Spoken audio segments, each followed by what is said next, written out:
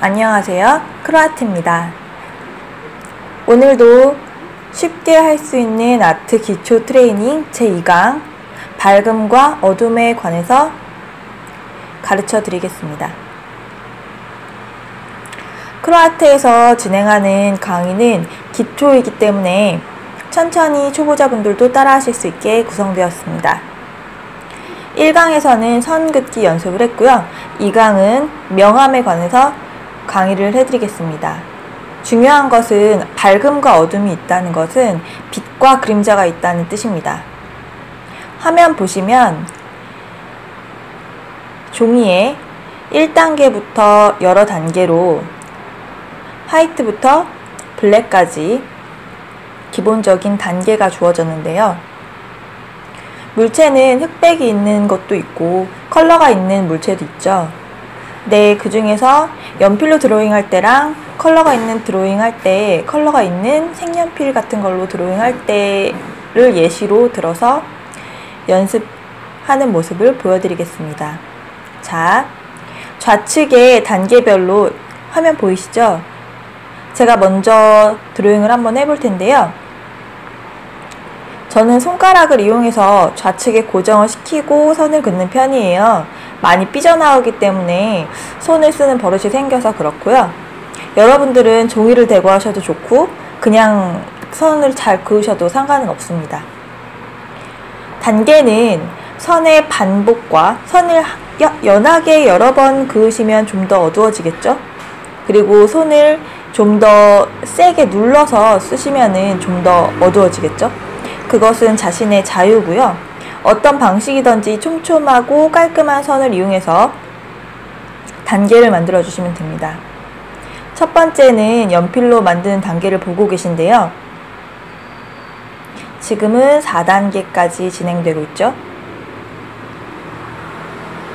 단계는 좌측에 있는 대로 꼭 단계의 개수를 맞추실 필요는 없고요. 아주 제일 밝은 부분과 가장 어둡게 눌러서 나타낼 수 있는 어둠을 표현해 주시고 그 단계는 뭐 손에 익숙해지는 대로 눌려주시면 좋습니다. 선 연습과 터치가 동시에 연습이 되기 때문에 이것도 선 연습의 연장선이라고 생각하시면 돼요.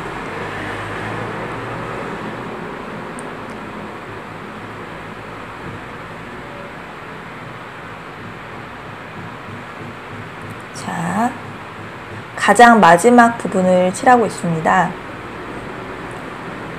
마지막 블랙 부분은 최대한 연필을 눕혀서 진하게 그어주시면 됩니다.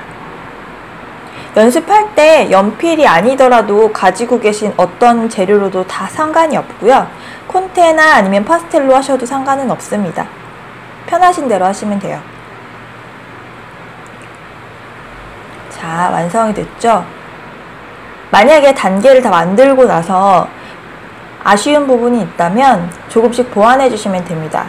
지금 그린 것 같은 경우는 위쪽 부분에 한 톤이 더 밝은 컬러가 있었으면 좋겠다고 생각을 해서 위로 조금 빼주었어요.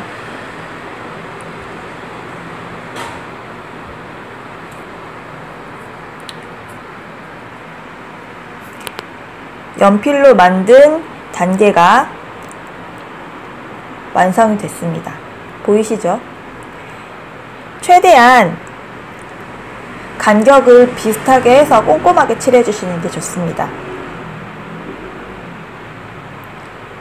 한번 전체적으로 문서를 보시고요.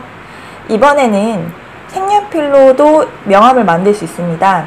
제가 지금 현재 가지고 있는 색연필 중에서 레드와 브라운 컬러로 한번 예시로 보여드리겠습니다. 레드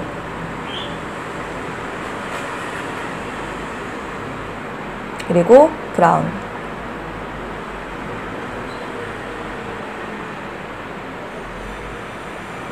그림을 그릴 때 블랙으로만 그리는 게 아니기 때문에 여러 가지 색깔을 이용해서 사용해서 연습을 하시면 좀 더 재밌을 거예요. 연습이라는 게 지루할 수 있잖아요. 자, 레드 컬러 시작합니다. 색연필이 연하거나 그런 경우에는 뭐 기호에 맞게 단계를 좀 줄여서 단계가 확실히 보일 수 있도록 연습해 주시는 것도 좋습니다. 제가 지금 쓰고 있는 색연필은 일반 시중에서 쉽게 사실 수 있는 색연필이고요. 마찬가지로 마지막 단계는 아주 진하게 온 힘을 써서 그려주시면 좋습니다. 다 그린 다음에 모자란 부분이 있으면 좀 채워주시고요.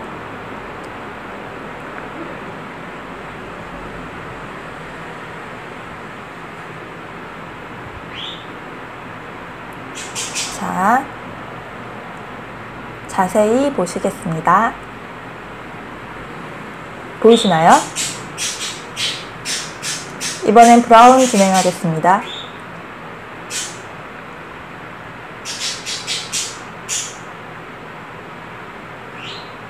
브라운도 마찬가지로 레드와 동일한 방법으로 칠해주시면 됩니다.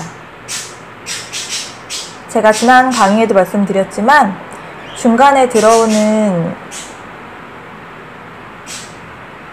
컬러는 좀 더 꼼꼼하게 해주시면 좋습니다. 자, 마지막 단계는 진하게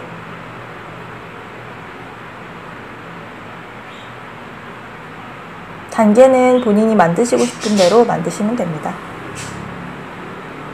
brown도 컬러가 만들어졌죠? red의 단계, brown의 단계입니다. 빛과 가까이 있는 부분은 밝고 빛과 멀리 있는 부분은 어둡겠죠?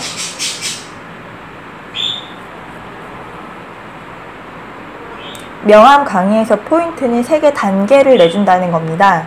흑백과 컬러가 있겠죠?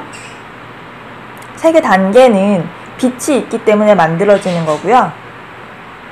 예를 들어서 9라고 했을 때 빛을 받는 부분에서부터 점점 점점 어두워졌다가 마지막에는 살짝 밝아지는 구도가 되는 것이 9의 명암 단계입니다. 그리고 정사각형의 같은 경우에는 빛이 비춰지는 부분에서 앞면, 윗면, 옆면 이렇게 단계별로 컬러가 나오겠죠? 그리고 빛이 살짝 위로 비춰지느냐 앞으로 비춰지느냐에 따라서 차이가 있을 수는 있습니다. 자, 오늘은 명암 강의를 마치겠습니다. 감사합니다. 다음 단계의 강의도 기대해 주세요. 수고하셨습니다.